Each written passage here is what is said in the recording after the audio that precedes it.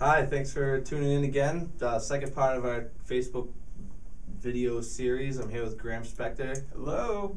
And uh, we're going to basically go over Facebook professionalism. Uh, I'm going to ask Graham some questions about what he, what we should be posting on our Facebooks, how we want our Facebook to look. Um, obviously, some of the obvious things you want your profile picture to be something that people can relate you to. You want it something that is going to be professional yet gives a, an image of who, who you are personally. And your Facebook profile is is you. It's, it describes who you are in different uh, fields of interest or whatever industry you're in. So I guess my, my first question would be like, what are some big don'ts about Facebook profile profile, uh, what you post and what you're putting up? And I've, I've, let me just say right off the bat, thank you for having me in a video that where the center and the focus is professionalism. Yeah. Because that the irony is not dead around the office. That is just wonderful. so thank you right off the bat, Tom. Um, a big don't is a do. And let me put a spin on it. What's the number one rule of communication? Communication majors uh, who are now in their parents' basements throughout the nation should know this. The number one rule is to know your audience. And so you always have to know who you're talking to and who you're posting things to and who's going to be able to see that. So a don't is to don't post something blindly and just think it's going to please everybody that you're friends with.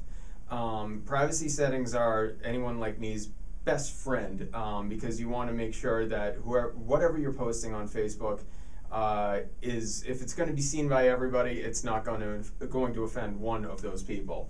Um, so, like you said, a profile picture uh, is the one thing on Facebook that everybody can see. So that's the one thing you want to make sure is always professional. Um, another professional thing is to obviously make sure all your uh, work info is as detailed as possible.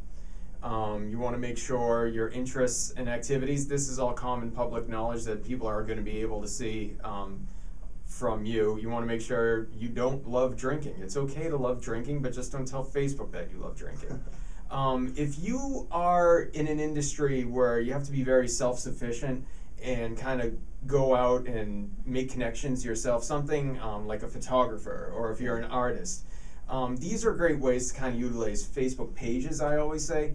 Any uh, photographers out there, artists, any uh, musicians, anything like that, Facebook page pages are a great way to kind of keep church and state separate where you'll have your own private Facebook account, but you're able to kind of help grow your own business through a Facebook page. So if you're on Facebook and you're trying to go out and get a next uh, gig, be it for photography or a musician, anything like that, and you're using your personal account, you could kind of be polarizing some people by with what you're posting and opinions and photos that people can see of you. You want to make sure that your privacy settings are the way it's set up. You can use the list list feature on the privacy settings and uh, put people you don't want to see certain things into that list.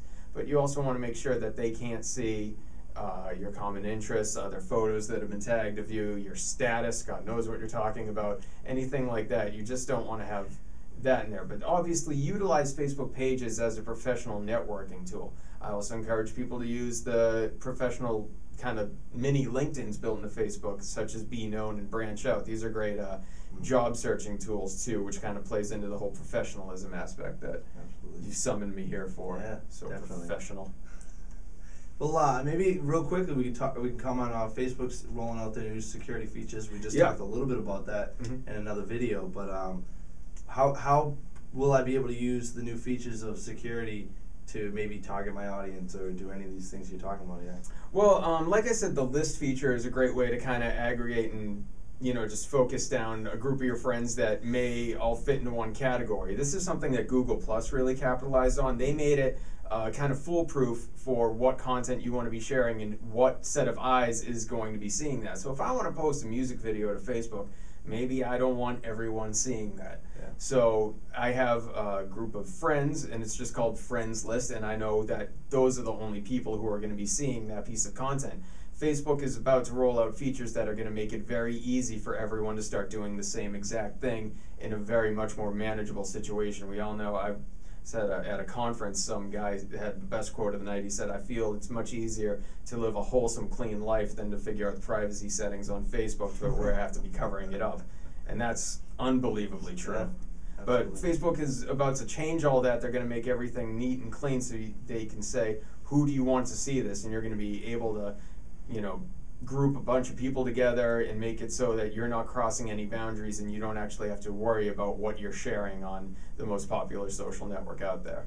Yeah, definitely. So this is basically a, there's a there's a line between what content you post up and maybe what information you post up and who you who you want to talk to. I mean, If you're using No. any social network for the point of actually networking in a professional manner, basically what LinkedIn is always used for, you're basically selling yourself. And so you don't want to post anything or be associated with anything, and that includes liking pages, because if you like a page, whether uh, privacy settings tell you or not, that's m- very common knowledge. And not only does the company who owns that page now know that you enjoy it, but the rest of the internet pretty much knows it as well. So don't associate yourself with anything and don't post anything or even click like to anything that you shouldn't be associated with in a professional manner. Absolutely. So basically, uh, in terms of the way the my my profile looks, is there ever a point where you can say there's too many likes or too much content in terms of my information and what I'm putting on there about myself? There's definitely no such thing as too much information, too many likes, as long as they're all okay with what your goal is professionally and from a networking standpoint. So, especially here at Grow Social, we can never say, you know, too many likes is Yeah. a bad thing. That's never going to be the case. However, you are you're constantly selling yourself, and you're always, you know, kind of branding your own personal, professional, you know, aura. Yeah, You know. I hear you. So yeah, you want to make sure everything is tight. You want to make sure everything's professional. You don't want to go and click Harold and Kumar, go to White Castle as your favorite movie. I know it is, It's a decent movie, but but there's some inappropriate things in there, and a potential employer is going to see that. very true. It's not wholesome, Thomas. Yeah. Not on my list of likes, but uh, We cancel all that right out. Absolutely. We keep the professional things in. You take that garbage over to Amen. MySpace That's where it belongs. That's, that's what I'm saying. So uh, uh, I appreciate you sharing some insight with us about uh, Facebook profiles. Done with me for the day. I think that's about it for uh, for videos and uh, we, uh, check out our website www.growsocial.com or you can follow uh, me at Tom R. Barry on Twitter. I'm at Graham Spector. It's spelled just like the cracker. Yeah, and uh, Grow Socially as well at Grow Socially. So we'll uh, see you next time. Being professional.